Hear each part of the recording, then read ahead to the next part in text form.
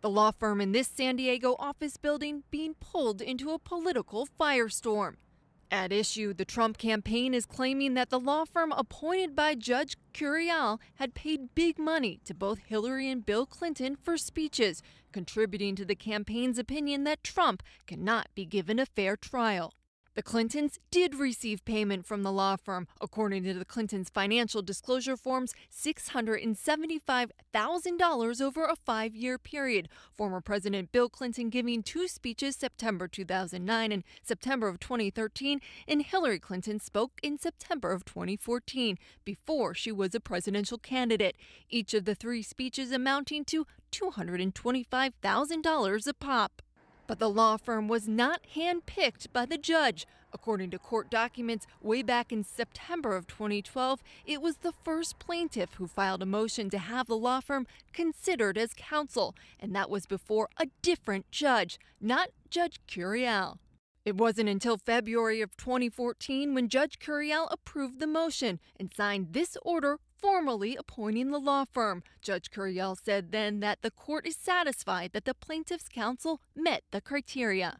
That approval made more than a year before Donald Trump even declared his candidacy for president.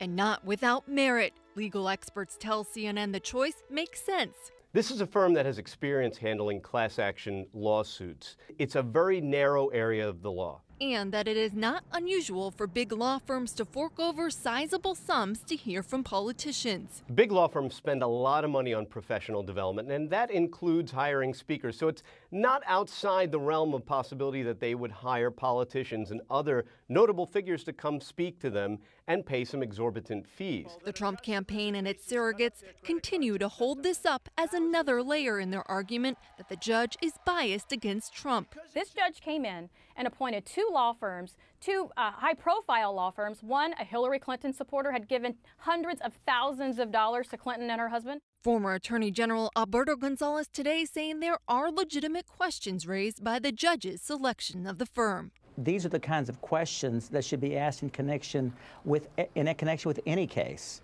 Uh, that is, whether or not does the judge have the kind of relationships or, or are there circumstances that exist that would call into question the, the, the, the impartiality of the judge. Sunlen Serfaty, CNN, Washington.